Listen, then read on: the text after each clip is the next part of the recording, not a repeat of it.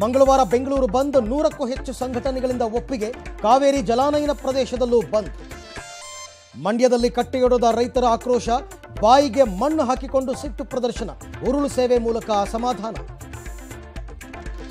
ಮದ್ದೂರಿನಲ್ಲೂ ಕಾವೇರಿ ಕಿಚ್ಚು, ಹೆದ್ದಾರಿ ತಡೆ, ಕಿಲೋಮೀಟರ್ ಗಟ್ಟಲೆ ಟ್ರಾಫಿಕ್ ಜಾಮ್, ಮಾನವ ಸರಪಳಿ ರಚಿಸಿ ಧಿಕ್ಕಾರ.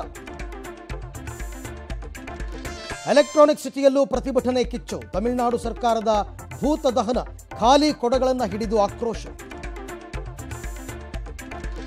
ಕಾವೇರಿ ಬಂದ್ ಬಗ್ಗೆ ಮಾಹಿತಿ ಪಡೆದ ಸಿಎಂ, ಜೀವನದಿಗಾಗಿ ಮೇಲ್ಮನವಿ ಸಲ್ಲಿಸಬೇಕು. ಸರ್ಕಾರಕ್ಕೆ ಯಡಿಯೂರಪ್ಪ ಸಲಹೆ.